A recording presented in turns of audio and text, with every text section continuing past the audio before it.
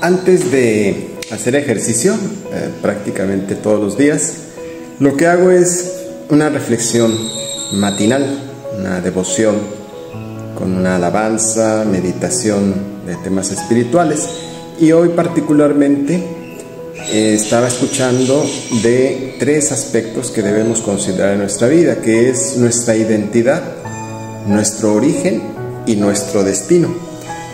Y creo que es importante que lo tengamos muy claro desde el origen, pues para los que somos creacionistas o creemos en Dios, pues es mejor pensar que venimos de un Dios perfecto, excelente, que somos producto de amor, en lugar de pensar que venimos de homólogos del mono.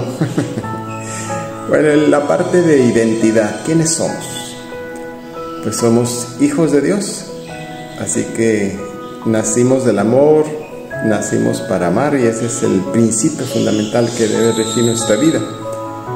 Eso nos da el máximo valor y, permite también entregar, dar el máximo valor a con quienes nos rodeamos, quien conocemos o con quien tenemos contacto.